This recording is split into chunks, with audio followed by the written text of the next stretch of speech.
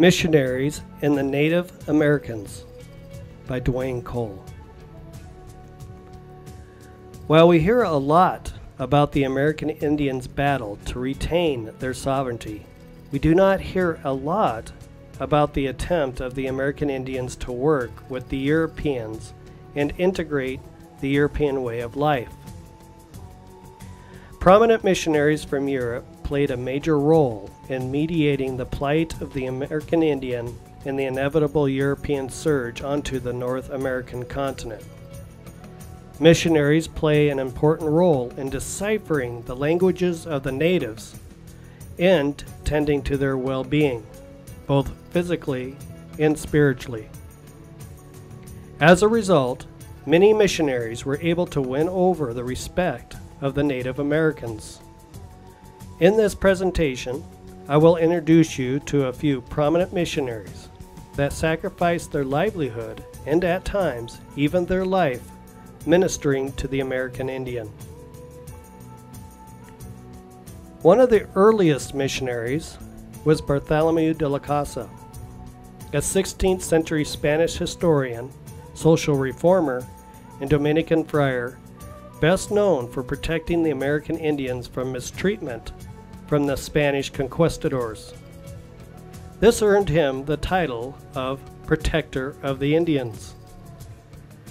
His so called new laws were adopted in 1542, which mandated the protection of certain Indian rights and the abolition of slavery.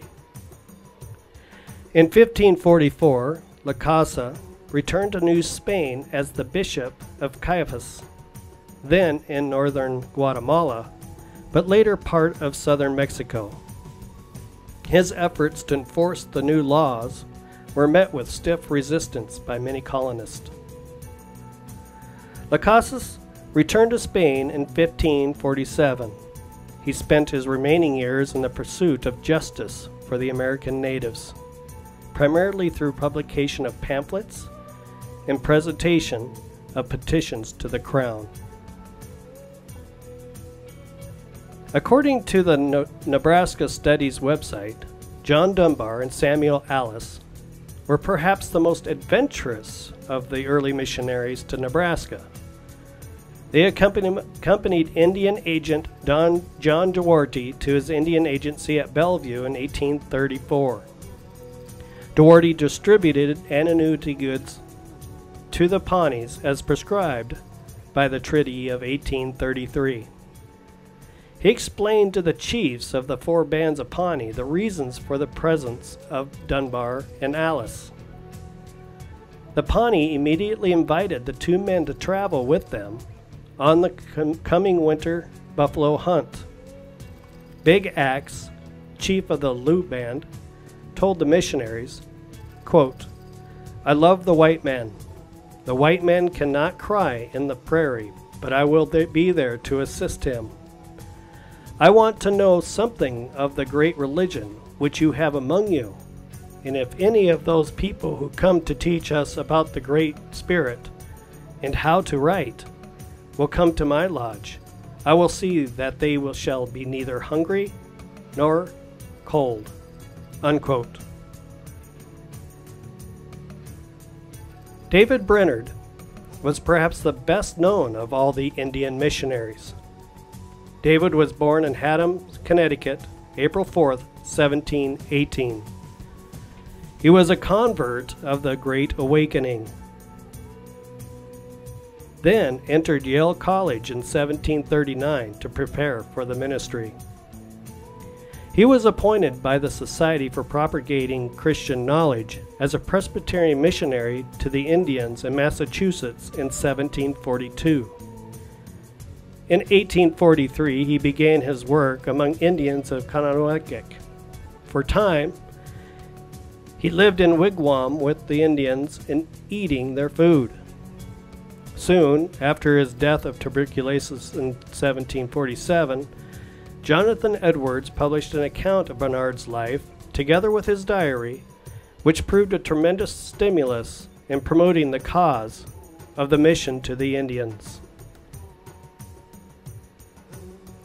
Samuel Worcester was a missionary to the Cherokee people in the early 1800s. Samuel didn't realize early on that he'd be part of a national court bat- battle fighting, not with guns, arrows, or rifles, but with the rule of law. In the court case, Worcester versus Georgia, the U.S. Supreme Court held in 1832 that the Cherokee Indians constituted a nation holding distinct sovereign powers.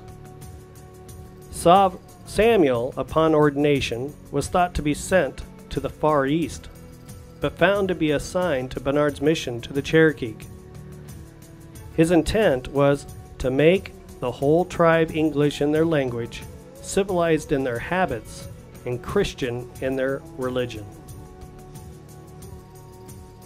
Ultimately, despite Samuel's determination to the point of being jailed, four years of hard labor, Samuel and the Cherokee lost their legal battle, and the Cherokee land was annexed to the state of Georgia. The Cherokee were forced to move in what is known now as the Trail of Tears. Throughout his mission, Samuel ran the Cherokee Press newspaper, which gave a voice to the Cherokee people. He translated a good portion of the Bible, which he wasn't able to finish upon his death, into the Cherokee language, an activist for the Cherokee people overall. The intentions of the missionary to Native American peoples were dynamic and fruitful for the most part. Missionaries played a vital role in interpretations and peacemaking. The missionary work goes on even to this day on reservations and schools. There will always be the need to understand and respect the Indian ways.